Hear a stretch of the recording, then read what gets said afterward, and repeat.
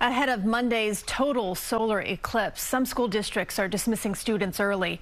One is the Seymour Public School District in Connecticut. The superintendent there said the decision is to help mitigate any possible risks of eye injury if students look at the eclipse without proper equipment.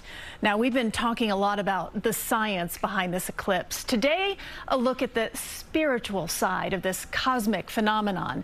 Astrology dates back centuries, and those that study the stars stars say that if you feel a little different around an eclipse, there's a reason for that. The science of an eclipse is as real as the stars in the sky. But those stars also tell another story. And that is how astrology is impacted by this cyclical alignment of the sun, the moon, and the earth. Is there a particular sign that will be impacted more during this eclipse? Aries will definitely be impacted. Also, their opposite sign of Libra will be, and the signs of Cancer and Capricorn as well. Let's just say that every member of the zodiac will be impacted.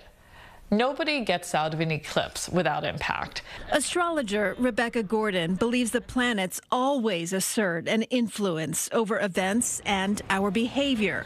Eclipses, she says, only magnify what is happening. What about to those folks that are sitting at home going, oh my God, please, this is just all a bunch of smoke and mirrors? And you look at patterns and cycles, big things happening on eclipses that you simply cannot argue with.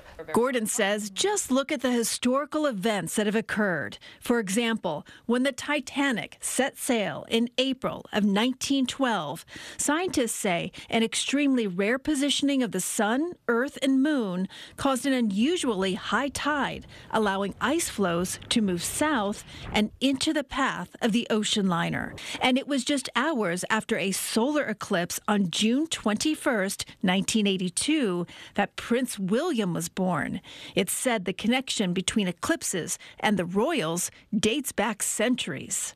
How much impact does the path of the moon and the sun have on astrology? When the moon is full, the tides are high. All crustaceans are born on full moons. Did you know that? Jellyfish are often born on full moons. So essentially, the waters swell, the waters of the ocean swell. What is your body made up of? Mostly water, yeah.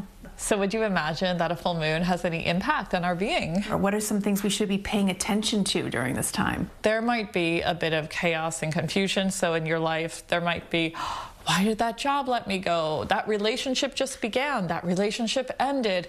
There can be a whole lot of change. You want to not plan too much leave space open because you will need that space to react thoughtfully, mm. not rashly.